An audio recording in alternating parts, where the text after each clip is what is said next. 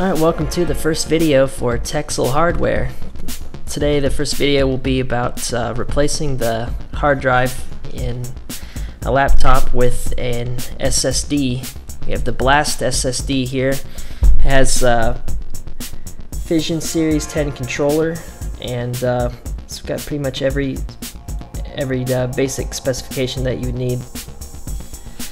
As appropriate, we have the necessary tools for the job. We got the six-piece precision screwdriver set, and of course the drive and the computer it's going to go into. That's pretty much all that is needed. Just take this out.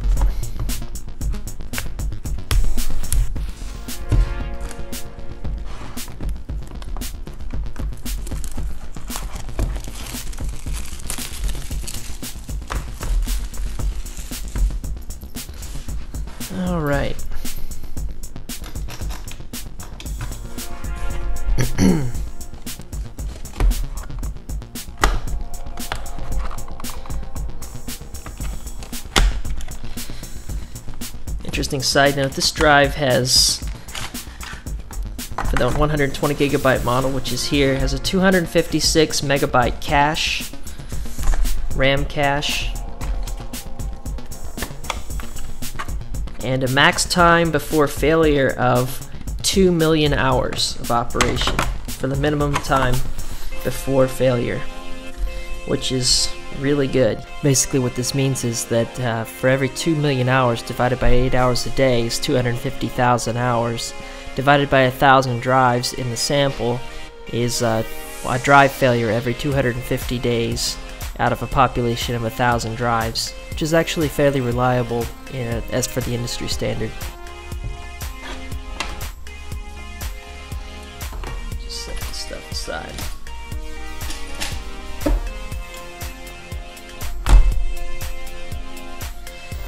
And this machine it'll be going into is a very old Toshiba laptop. It's actually a satellite L755 model. And it is from early 2012 actually. Actually I think it was produced in uh, late 2011 so it's a it's an old Sandy Bridge machine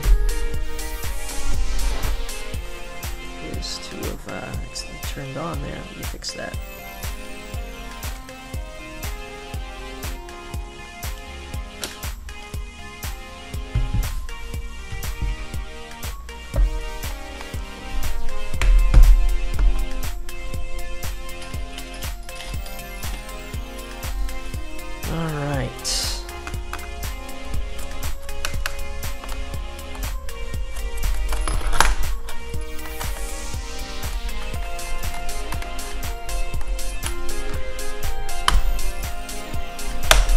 as always, remove the back panels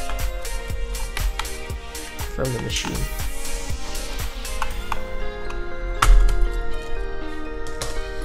to just check on the RAM modules. They are both seated properly still. And the Wi-Fi card, CMOS battery. Just make sure everything is seated properly.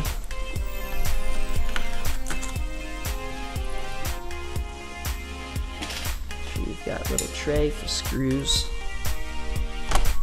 Them organized. And this is the tired out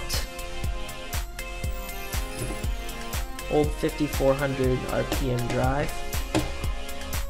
Remove it. Actually, I need this bracket off of it.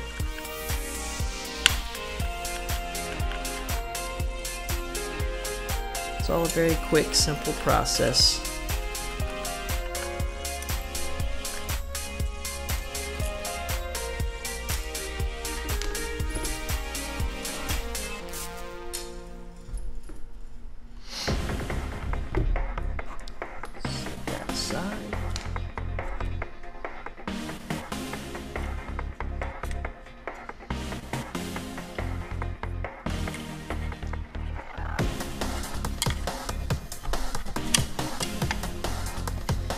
It's important to figure out the orientation of the drive precisely. And that looks like it's it, so that you know which way to mount your bracket.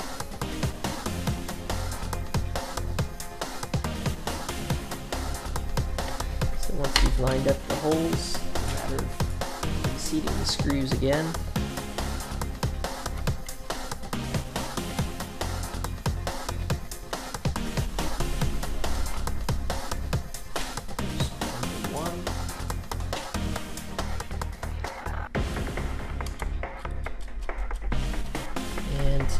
Number two.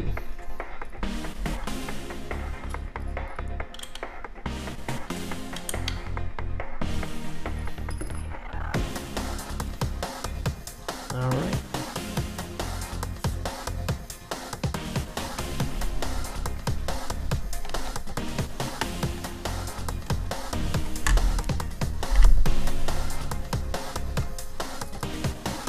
the hard drive's mounted back into the SATA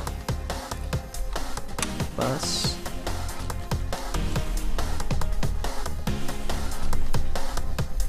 And the bracket's tied down, screwed in place. So now it should be all set to go. After replacing the back panels,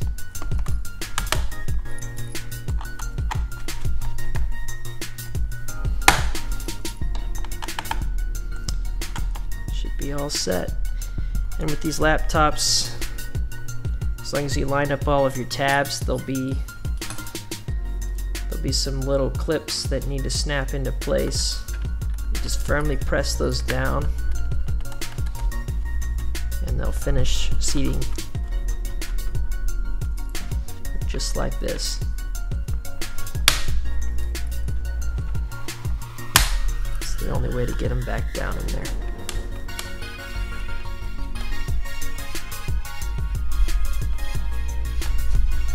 Alright, and that was the installation in just a matter of a couple of minutes.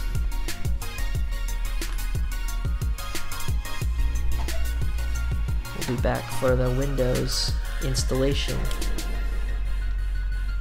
shortly.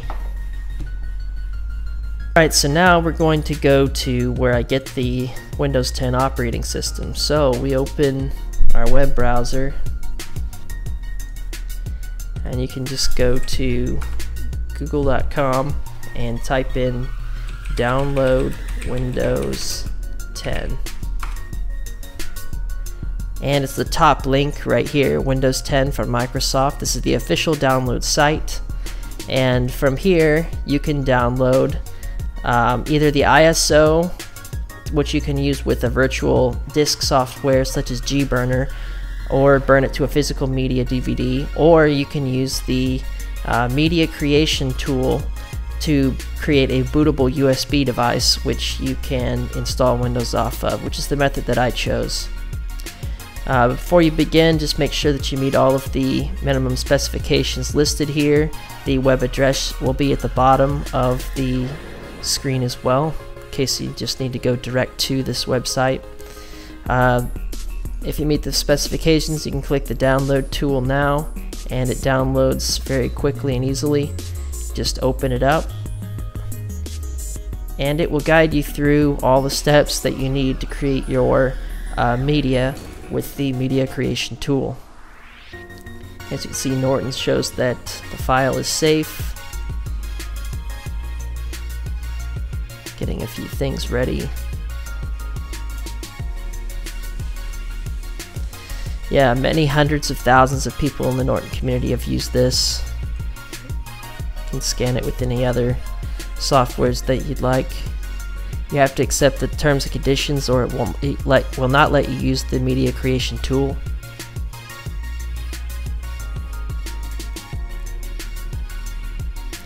And you have two options. You can either choose to upgrade this PC now, which will do all of the work local on the machine, or you can create a media installation media, sorry, for another PC. So that's the option that we want to choose here. That way you can use the same media on this or multiple PCs if you need to. Um, use recommended software options for this PC are already selected. However, if you're using it on a different machine, make sure you unselect that and customize any um, any things that you'd need to. You can choose a different language of Windows 10. You can choose between the standard installation, home single language, or the 10N. From what I understand, the N the N version is for um, other countries outside the US for licensing purposes. It has some different features enabled or disabled. And your architecture, whether it's 32-bit, 64-bit, or, or if you want both on your installation media. And I assume if you choose both, it will let you choose which one you want to install when you do the installation. However, I've only chosen the 64-bit uh, version.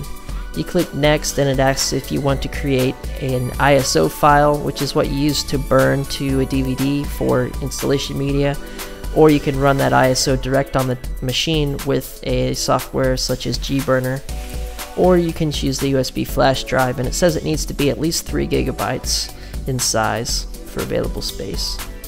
What you do is you would click next, and right now I don't have one uh, collected that connected, sorry, that it will work with However, it will pop up with a dialog box that lets you choose your device and then it forces you to do a reformat.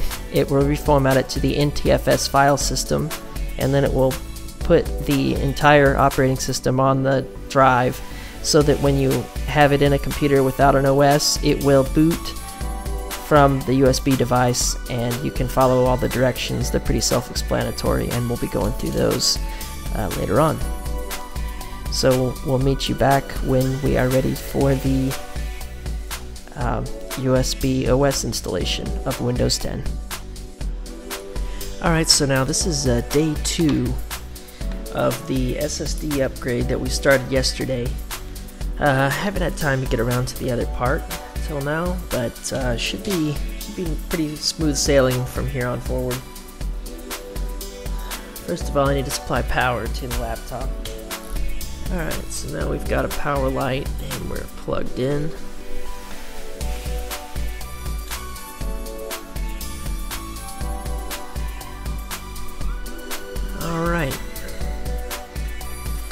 Now what I've done here is I put the entire Microsoft 10, Windows 10 OS from the um, recovery media creator tool that's available on the Microsoft website. Use that to create a bootable disk, which we will load the whole thing off of here. So, place that in the, in the USB port. And we boot the system on. Hopefully you guys have a good enough view of, of what I'm doing here. As since I cannot directly screen capture a system that doesn't have an OS on it. This is probably one of the best things that I can do. I'm sorry about the glare off of the, the window next to me. Alright, and then here we have the Windows OS installation walkthrough wizard. We'll just stick with default options, install now.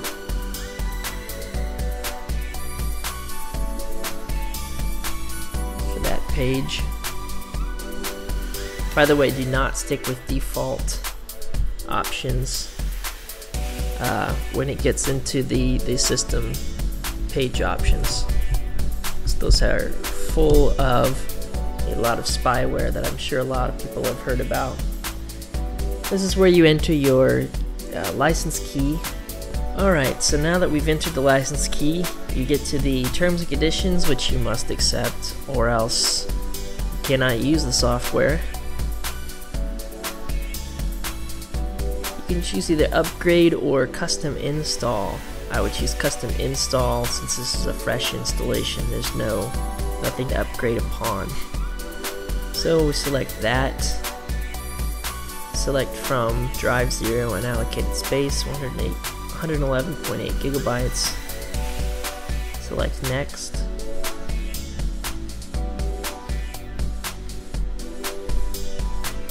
and now it says it's ready to copy files, getting them ready, and uh, finishing up all of the installation. Come back with the next segment of recording here when the next thing's ready to go. Alright, so now we've finished the automatic installation. It just went through its own paces on the setup wizard. There was nothing I had to click or anything.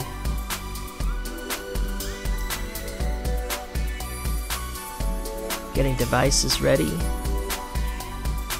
And the last few system items. I think now while we're waiting for us the display adapter. Okay. So select your wireless network.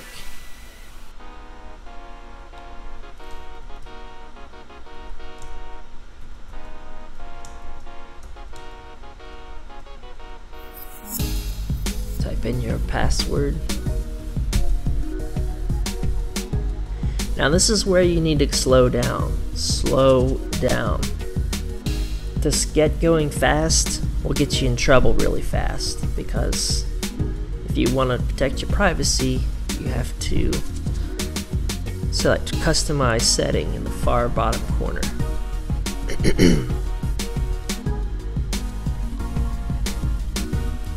and if you want the traditional level of, of privacy features, you have to select all of these things to off. And then you go back to the standard privacy level that you had with Windows 7, Windows XP, and, and even further back.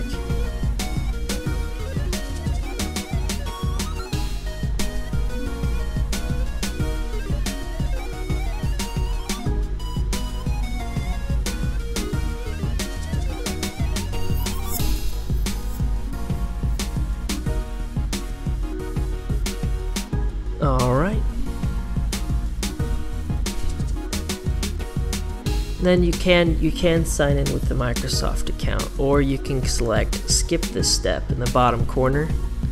Allows you to create a local account just like you could with uh, with other versions of Windows prior.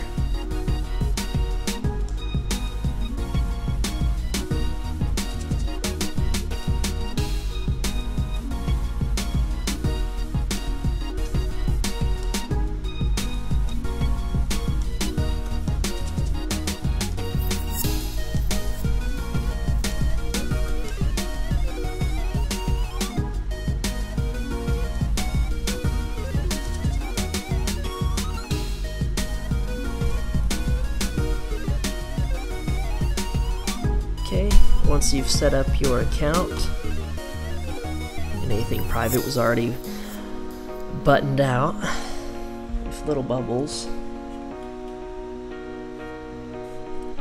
your computer starts talking to you. It says, Hi, we're happy you're here.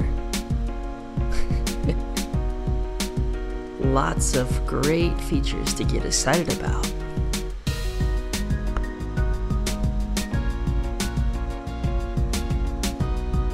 Let's start.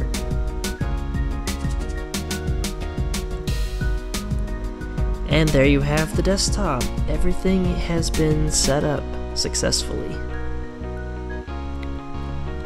Alright guys, well I hope you really enjoyed my very first YouTube video about upgrading the drive from a 5400 RPM uh, spinning hard disk drive to a solid state 550 megabytes per second drive.